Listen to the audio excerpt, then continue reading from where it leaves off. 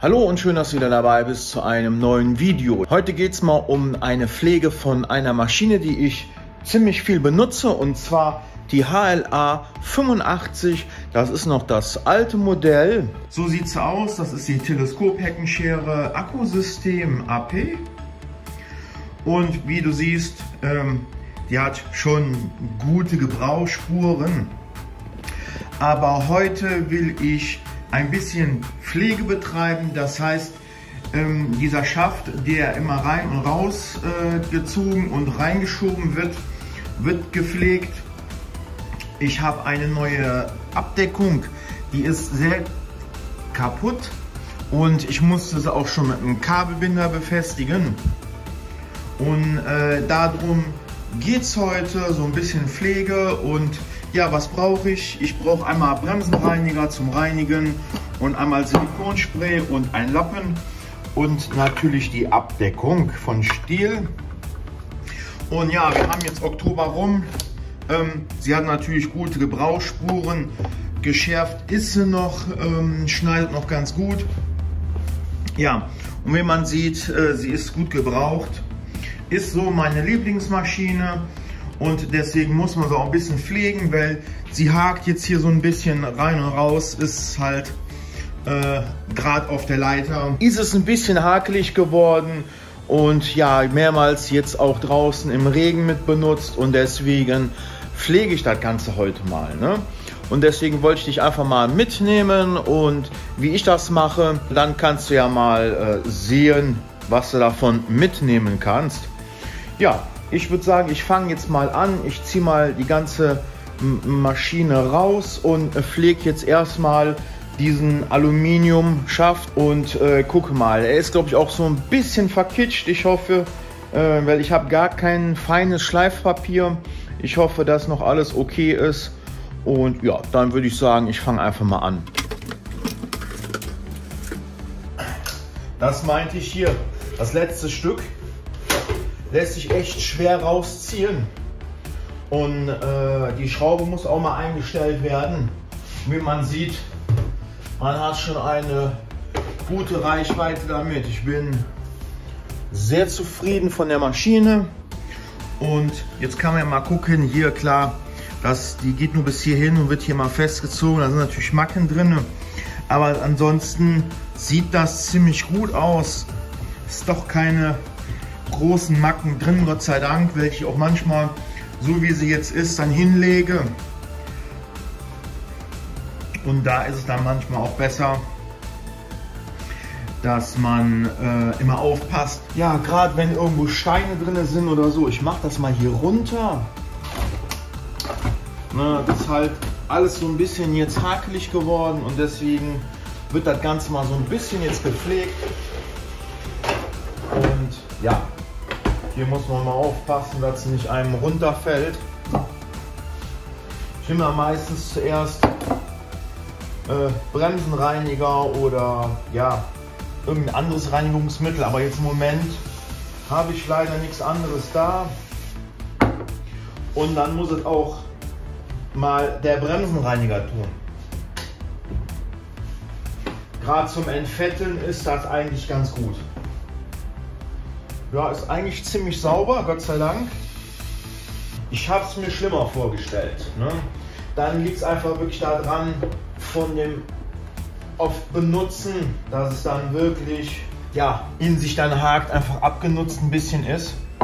So, jetzt nehme ich am besten mal einen neuen Lappen. Ich nehme immer gerne solche Mikrofaserlappen oder ja, ich muss jetzt noch mal ein Paket alte Lappen bestellen.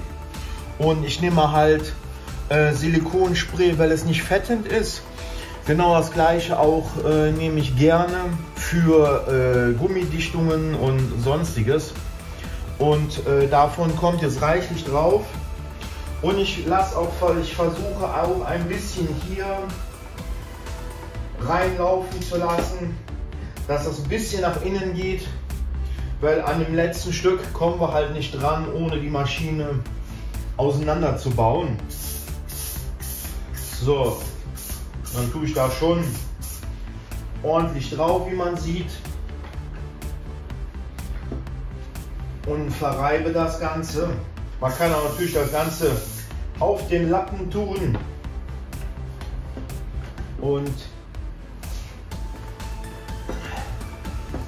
dann ordentlich behandeln.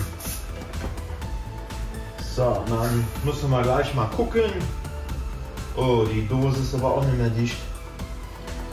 Ja. Die hat wohl ihre besten Tage hinter sich. Wohl so alt ist sie noch gar nicht. Naja, egal. So sieht es halt aus. Ne? Und jetzt gucken wir einfach mal, weil man merkt schon. Ah, siehst du? Jetzt geht das wieder wunderbar. Ehrlich. Da habe ich mich vermisst, wenn ich dann auf der Leiter stehe und das hakt. Du stehst dann einfach fast auf der obersten Sprosse. Ist es dann manchmal so ein bisschen komisch. Ne? So, jetzt mach ich mal Mal auf. So. Und dann tausche ich die Platte. Dann mal gucken, wie es unten drunter aussieht. Ich weiß, da ist ein Kugellager kaputt. Den Kabelbinder ab. Eieiei. So. Nehmen wir uns einen Schlüssel. Ich nehme den ganz gerne, weil früher habe ich nämlich mit, jetzt wie man sieht, ich kriege ihn schon so auf, ohne die Schrauben zu betätigen. Und da muss man auch jetzt gucken. Ne, der ist noch drin. Da ist ein Abstandshalter drin. Ja. Und ich würde sagen, die richtige Maschinenpflege werde ich dann vor Weihnachten machen, wenn es dann in den Urlaub geht. Hauptsache ich habe jetzt mal die neue Abdeckung drauf, weil dann, weil da ist auch da unten die ist abgebrochen, wie man sieht. So, und das ist dann alles nicht mehr, da kann man es ganz gut sehen. Die sind komplett halt rausgebrochen. Ne? Ich weiß auch nicht wodurch. Die ist auch nirgendwie hingefallen, die Maschine. So, wo ist denn das? Der Rest vom Schützenfest hier. Hier diesen Abstandshalter meine ich. Da muss man gucken. Sonst muss ich da mal einen neuen bestellen. Hm. Hier hinten ein Kugellager ist defekt, das rostet da ein bisschen vor sich hin. Und so sieht das Ganze jetzt aus, da sieht man schon, ich habe es letztes Mal gefettet. Das ist halt, ja, rostig. Aber das komplette Revision mache ich dann ähm, kurz vor Weihnachten, wenn ich dann in den ähm, Urlaub gehe ähm, finde ich dann besser, weil ich brauche die Maschine jetzt noch und äh, das reicht mir jetzt so im Moment. Ich will nur gucken, dass er noch etwas dichter ist, wenn man sieht, jetzt durch den kaputten Deckel ist da jede Menge reingekommen, aber die zieht sich ja auch das ganze Schnitt gut so ein bisschen hier vorne rein durch die Hubbewegung. Ah, okay, da ist irgendwie Spannung drauf. Muss mal gucken. Ah ja, hier. Der. Der ist doch. Der war am Deckel dran. Deswegen ist das Ganze auch kaputt. Aber irgendwann gibt halt alles den Geist auf. Der ist nämlich jetzt hier schon da drinne. Hier. So. Wunderbar. Da haben wir uns nämlich das. Ja, Ah, sieht doch aus wieder wie neu, oder? Die Schrauben sind alle gleich. Ah. Muss man echt lauwarm das Ganze anziehen, dass das nicht wieder bricht. Es kann auch sein, dass das davon gekommen ist, dass ich ein bisschen zu feste angezogen habe. Wenn ich jetzt hätte, würde ich ein bisschen Loctite drauf tun, also halbfestes Loctite. Ich habe nur noch festes da, also hochfestes und das ist nicht gut, sage ich jetzt mal, weil man will ja die Schraube wieder abbekommen. So sieht es jetzt aus, einmal ein neuer Deckel. Ich werde jetzt noch ein bisschen das äh, Schwert pflegen. Ich brauche die Maschine zwar wieder, aber wie man sieht, ist es schon gut verschlissen. Da wird auch Ende des Jahres ein neues drauf kommen. Die habe ich hier schon zwei, dreimal nachgeschliffen und dann geht natürlich irgendwann mal der Grundschliff raus. Ich habe halt keine Maschine dafür, ich mache es halt von Hand. Und äh, wenn der Grundschliff dann einmal draußen ist, aber man kann das ruhig fünf, sechs Mal nachschleifen, ist das kein großer Akt. Ich drehe die jetzt einmal rum, immer unten die Sperre reintun, der Akku ist, ist noch drinne oder am besten direkt der Akku rausholen. Ähm, Gerade wenn man hier dran arbeitet. Ne? Normalerweise sollte nichts passieren, aber man weiß ja nie. Ich pflege das Ganze jetzt noch hier mit, mit diesem Produkt von Stiel. Für extra für die Schnitt, Schneideblätter. Und ähm, ich werde jetzt mal sehen, dass ich die Maschine kurz anlaufen lasse, dass ich einen Versatz da drin habe. Das ist meistens immer schwierig, weil die meistens immer Zahn auf Zahn stehen bleibt.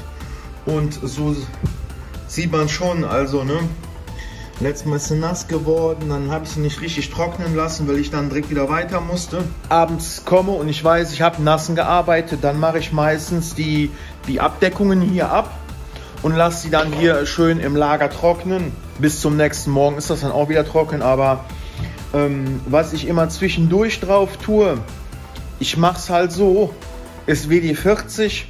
Das ist ja ähm, im Prinzip kein richtiges Öl, aber es pflegt ein bisschen und dadurch habe ich auch jetzt keine großen Verharzungen drauf auf dem Schwert. Und äh, ab und zu dann mit diesem Pflegeöl werde ich es dann auch nochmal machen, wenn es dann in die äh, Weihnachtspause geht oder ich mache direkt ein neues drauf. Ich muss mal gucken, wenn ich jetzt nochmal richtig hinbekomme äh, und schön geschliffen bekomme, dann bleibt es auf jeden Fall noch drauf. Aber die Maschine ist bei mir tagtäglich im Einsatz und habe daher natürlich auch einen guten Verschleiß. Ne? Das mache ich jetzt einfach hier mit, weil kann ich danach wegschmeißen. Kurz zwar mit der Druckluft drüber. Jetzt kann man das auch mal näher betrachten. Also hier zieht die Maschine das immer rein, wenn man am Schneiden ist. Und dann geht das da rein und deswegen sieht es dann halt im Betriebe so aus, wie es aussieht. Ne? Ich weiß gar nicht, ob das an der neuen Maschine geändert worden ist, aber naja, bei der ist es halt so und da muss ich halt alle drei Monate mal aufmachen, ein bisschen neu fetten. So, und jetzt sprühe ich das schön ein. Und dann ist das auch wieder schön gepflegt. Okay. Lassen wir mal ein bisschen laufen. So sieht es dann jetzt aus. Ich werde jetzt die Maschine einpacken. Ich brauche sie wieder morgen.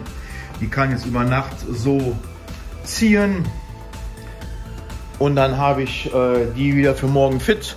Und wenn man nämlich dann auf der Leiter steht, man muss ausziehen, hakt auch dann nicht mehr. Es ist für mich Arbeitssicherheit, umso leichter ich auf einer, auf einer Leiter oder im Baum oder sonst irgendwo arbeiten kann, umso besser ist es natürlich. Deswegen ist so eine regelmäßige Pflege auch erstens für die Maschine gut, zweitens zum Arbeiten und äh, sie hält halt auch länger. Und wenn man das regelmäßigen Abständen tut, so alle zwei, drei Monate, je nachdem natürlich nach Belastung. Also diese ist jetzt in der Schnittsaison, Oktober gerade, sehr in Beanspruchung und da kann ich das schon fast jede Woche machen, mindestens alle zwei Wochen mal drüber schleifen. Ne? Da muss man mal gucken. Ja, schreib du mal rein, wie du das ganze Pflegen tust unten in den Kommentare und dann würde ich sagen, bleib gesund und bis zum nächsten Video.